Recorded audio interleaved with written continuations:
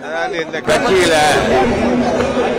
இல்ல கட்சியினுடைய உழைப்புக்காக தமிழ்நாடு முழுவதும் இந்த கட்சியை வளர்த்துவதற்காக எனக்கு இந்த காரை வந்து தலைமை கழகத்துடைய சார்பில் பொறுத்தியாக தந்திருக்கிறாரு.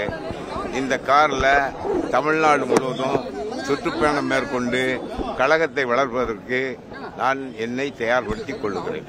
அதுதான் கார் யாரும் ஒன்றும் இல்லை. நாடாளுமன்ற தேர்தல் வந்து தலைமையில வந்து கூட்டணி அப்படின்ற மாதிரி சொல்லியிருக்கோம். ஆனா அண்ணாமலை வந்து எங்க தலைமையில தான் நாடாளுமன்ற தேர்தல்ன்றது எங்களுடைய எலெக்ஷனு இது வந்து இல்ல இல்ல இது இது வந்து நாங்க தலைமை கழகம் தான் முடிவு செஞ்சு அறிவிப்பாங்க. அதை வந்து நான் மட்டும் சொல்றேன் கர்நாடகா சட்டமன்ற தேர்தல் குறித்து என்ன ஆலோசிச்சிருக்கோம் ஆமா அது தலைமை கழக நிர்வாகிகளுடன் இருந்து முடிவு செய்வான்னு சொல்லியாச்சு.